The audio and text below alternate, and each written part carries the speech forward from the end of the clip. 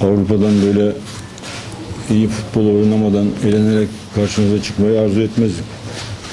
Trabzonspor sevdalarından bize bağışlamasını istiyoruz. Ama dün bu basın toplantısını anons ettiğimiz için çıktık. Belki bunu da yanlış değerlendirebilirler. Böyle bir elenmeden sonra mı basın toplantısı yapılıyor diyor. Dünkü programdı bu. Malumunuz kendi yalanlarıyla Türk futbolunu kirleten insanların o kirlilikten, o pislikten nasıl kurtuluruz diye yeni yalanlar üreterek kamuoyunda algı oluşturmaya çalışmaları kendilerinin senelerden beri yaptığı uygulamaları acaba başkaları da yapıyor mu endişesine dü- düşüp şahıs olarak muhatap, muhatap almadığımız ama kurumsal olarak cevap verme zorunluluğu taşıdığımız için buradayız. Yoksa adı geçen şahsı cevap vermeye değer bulmadığımızı kamuoyuyla paylaşmak istiyorum. Ama şike sürecindeki pisliklerini nasıl örteriz diye kendi uydurdukları yalanlara önce kendileri inanıp sonra da algı yaratıp kamuoyunu inandırmaya çalışanlar Trabzonspor'un temiz tarihine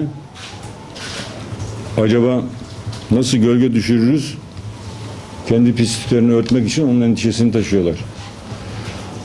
Malumunuz şahıs Trabzonspor'un mali yapısıyla ilgili kamuoyuna önce kendi inandıkları yalanları sonra da kamuoyuna inandırmaya çalışıyorlar. Bizim görev yaptığımız süre içerisinde 80 milyon lira para bulduğumuzu ve bu paranın nereden bulunduğunu, hangi siyasiler tarafından Trabzonspor'a aktarıldığını dan bahsediyorlar.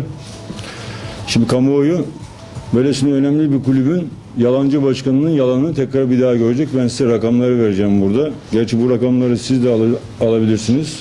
E, bu kulüpler e, borsaya açık bir şirket. Kamuoyu tarafından sürekli denetlenen girdisi çıktısının herkesin bilgi olduğu bir yapısı olan kulüpler bunlar. 80 milyon lirayı nereden bulduğu açıklasınlar denen rakam 80 milyon lira Trabzonspor'a biz bulmadık. Bulsaydık zaten Trabzonspor'un faizli borcu biterdi. Bugün çok daha rahat ekonomik olarak yönettiğimiz bir kulüp olurdu. Bizim geldiğimiz günden beri sabit gelirlerinin dışında Trabzonspor'a bulmuş olduğumuz kaynaklar verdiğim rakamlardır. Bunların 9 milyon 800 bin lirası Trabzonspor sevdalılarının ve bizlerin e, geçmişte ilişkisi olduğumuz iş adamlardan aldığımız bağışlardır. Yine sabit gelirlerin dışında biz geldiğimiz süre içerisinde sponsorluklardan elde ettiğimiz gelirler de 8870 liradır. Yine bizim dönemimizde yine Trabzonspor sevdalıları bizim dostlarımızdan geri ödemek şartıyla faizsiz aldığımız miktar da 9550 liradır. Yani bunların toplamı 28220 lira yapıyor. Bunun da söylediğim gibi 9550 lirası geri öde- ödenmek üzere alınan faizsiz borçtur. Şimdi 80 milyon lira nerede? 28 milyon lira nerede? Yani düşünün ki liglerimizin çok önemli bir kulübün başkanının bu konuda da nasıl yalan söylediğini kamuoyuyla paylaşmak için bu toplantıyı yaptık. Şimdi elbette ki ulusal basında merak ediyorum. Burada onlar da bir ahlak sınavındalar. Bu yalancıların yalan ifadelerini manşet yapanlar bu gerçekleri yarın ne kadar manşet yapacaklar onu da göreceğiz.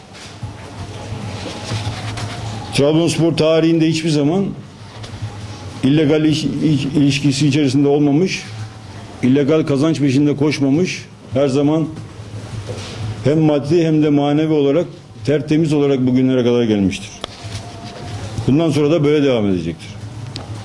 Şimdi aynı şekilde bu muhterem zatın yalanları yine devam ediyor. Trabzonspor'un hiçbir başarısı yokken oyuncuları nasıl transfer etti devlet tarafından yapıldı diyor. Hırsız herkesi kendisi gibi sanır. Bu işleri çok iyi becerdikleri için bizi de aynı şekilde düşünüyorlar. Biz devletten de siyasetten de hiç kimseden yardım görmedik. Sadece Trabzonspor'un kendi ismiyle, markasıyla bizim de girişimimizde bu kulübe onu sevenlerinden yardım topluyoruz. Transferlerini devlet tarafından yapıldı diyor Trabzonspor'un. Şimdi bunların hepsi zaten açık olarak Trabzonspor'un konuşmamın başında da söylediğim gibi borsaya açık bir şirket olarak bilgilerin hepsi zaten var. Ama art niyetli olursanız bunları söylersiniz. Bizim dönemimizde transfer eden oyuncuların iki tanesinde bonservis parası vermedik Bosinva ile Malda'ya. Sadece aylıklarını ödüyoruz. Aykut Demir'i Gençler Birliği'nden aldık. 2 milyon 900 bin euroya aldık. Şu ana kadar 1 milyon 900'ünü ödedik. İlhan Başkan'a teşekkür ediyorum. Süresi geçmesine rağmen bize anlayış gösteriyor. Daha parasını ödemedik. 1 milyonun da borcumuz var. Yeni ara dönemde aldığımız Alex'i de onun da 600 bin eurosunu ödedik. Malumunuzdur ki Trabzonspor gibi bir markanın bu paraları ödeyecek gücü, bulacak gücü vardır. Şimdi biz de sormak istiyoruz. Bizim elimizden şampiyonlukları çaldıkları sene oyuncuları kaçtık, kaçıp gittikten sonra ekonomik sıkıntı içerisindeyken aldıkları oyuncuların onlarca milyon euro paralarını hangi iş adamları ödedi ve neyin karşılığında o iş adamlarından aldı? Bunlar da kamuoyuna açıklamalarını istiyoruz. Bizim yaptığımız transferlerin toplamı 5 milyon lirayı bulmaz. Ama onlar bu paraları nereden ve nasıl buldu? Bunları da kamuoyuna açıklasınlar.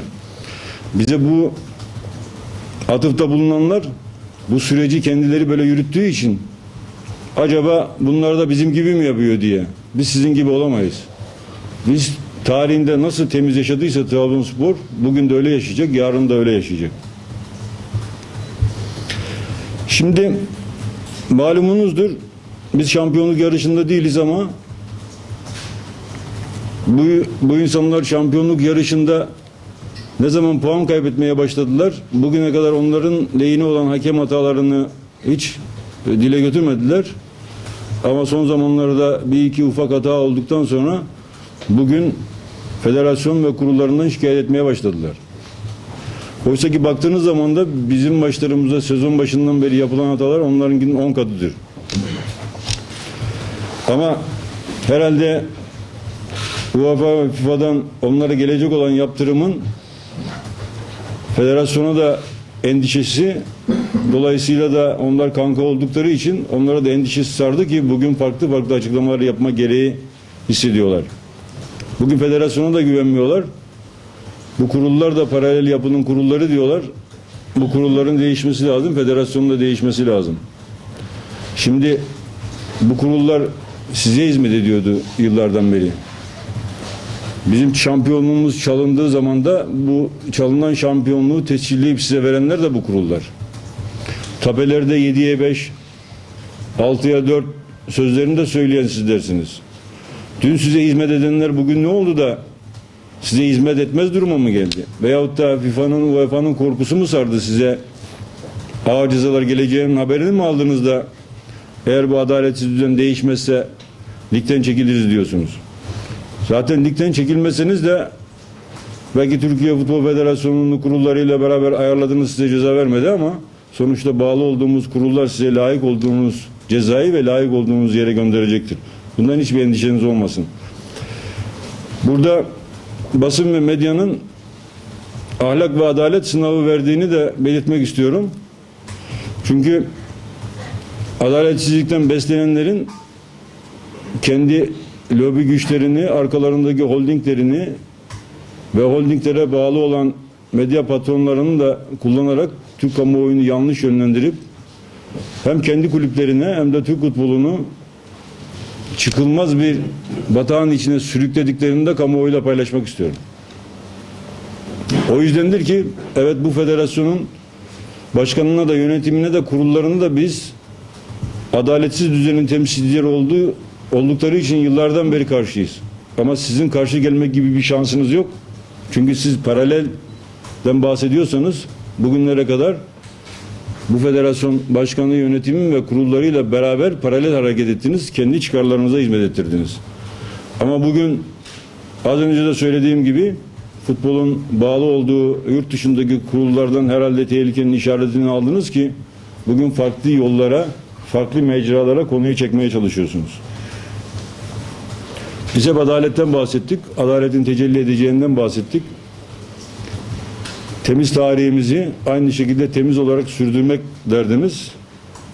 Ama siz bu pisliğin içerisinde hangi mücadeleyi verirseniz verin size yardım edenlerle beraber o pisliğin içinde gömülük gideceksiniz. Trabzonspor'u siyasetle paralel göstermeye çalışan bu zat-ı muhterem unutmasın ki Trabzonspor ne bizden önce ne de bizim dönemimizde hiçbir siyasi yardım görmemiştir. Bundan sonra da siyasi yardıma ihtiyacı yok. Ama sizlerin siyaseti nasıl kullandığınızı yanındaki sahte melekler ve şeytanlarla Trabzonspor'un şampiyonluğu çalındığı zaman da bütün güçlerinizi kullanarak nasıl menfaat elde ettiğinizi bu kamuoyu çok iyi biliyor. O yüzden burada da siz profesyonelsiniz. Bunu da kullanan birisi varsa o da sizsiniz. Biz hiçbir zaman kendi gücümüzün haricinde temiz ve adaletli Türk futbolu adına her zaman doğruları istedik. Bundan sonra da doğruları istemeye devam edeceğiz. Türk kamuoyunu yanlış yönlendirmeye, algı yaratmaya çalışan bu insanları namuslu Türk futbolu paydaşları hiçbir zaman kabul etmedi. Bundan sonra da kabul etmeyecek. Ben bir üzüntümü de belirtmek istiyorum. Türk futbolunu yönetenlerin böylesine pisliği örtbas ederek nereye kadar gideceklerini anlamadan Türk futbolunu uçuruma doğru götürdüklerini herhalde yavaş yavaş anlıyorlar ki onlar da yandaşlarıyla beraber panik halindeler. Ama biz ilk günden söylediğimiz gibi Trabzonspor'un haklı olduğu bu davasında hem yurt içi hem yurt dışı girişimlerimizde çok yakın zamanda Trabzonspor sevdalılarının beklediği sonucu namuslu Türk futbol paydaşlarıyla beraber alacağımızdan kimsenin endişesi olmasın.